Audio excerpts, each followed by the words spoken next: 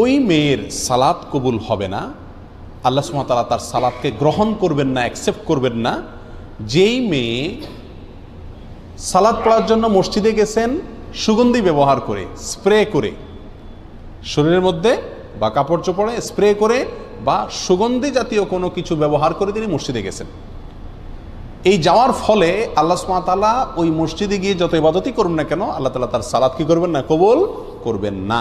এ বিষয়ে বহু হাদিসের কিতাবে হাদিসে আসছে। তার ভিতরে একটা আমরা উল্লেখ করছি, যেটি সহি খুজামা, ইবনে খুজামাতে বর্ণিত হয়েছেন এবার সাল্লাম বলেছেন, লা আকবরুল্লাহ মিন ইমরাতিন সালাতান। ওই মহিলার সালাত আল্লাহ কবুল করবেন না।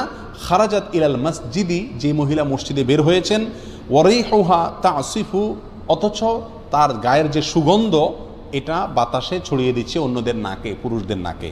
হাত্তা তার যে আফাতাগতাসিলা সে বাসায় এসে গোসল করে, অর্থাৎ এই গন্ধ তার শরীর থেকে দূর করার আগ পর্যন্ত তার সালাত, আল্লাহ তালা কি করেন না? কবুল করেন না।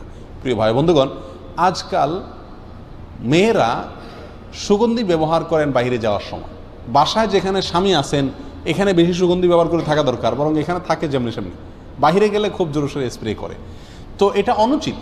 অন্য পুরুষকে নিজের প্রতি আকৃষ্ট করা, অন্য পুরুষকে মনে মনে জানা করতে আহ্বান করার সামিল এই স্প্রে করা, যে স্প্রে, সুগন্ধি জাতীয় স্প্রে, এটা করে মহিলারা বাহিরে যেতে পারবে না। এখানে চিন্তা করার বিষয়, মসজিদে যাচ্ছেন, সালাত আদায় করার জন্য তিনি যদি আপনার সুগন্ধি জাতীয় কোনো কিছু ব্যবহার করে যান এবং তার সুগন্ধি অন্যদের নাকে যায়, পুরুষদের নাকে যায় এবং পুরুষরা বাজে চিন্তা করার সুযোগ তৈরি হয়, সেটার যদি এরকম কঠিন শাস্তির কথা বলা হয়ে থাকে, কঠোর সতর্কবাণীর কথা বলা হয়ে থাকে, তাহলে যারা বাজারে, মার্কেটে ঘোরার জন্য বেড়াতে যাওয়ার জন্য, পার্টিতে, বিয়ে শাদিতে যাওয়ার সময় এসব সুগন্ধি লাগায় যাচ্ছেন, তাদের পরিণতি কত ভয়াবহ হতে পারে, আল্লাহ তালাই ভালো জানেন। আল্লাহ আমাদের মা বোনদেরকে সঠিক পথে, শুদ্ধতার পথে, সুস্থতার পথে ফিরে আসার তৌফিক দান করুন।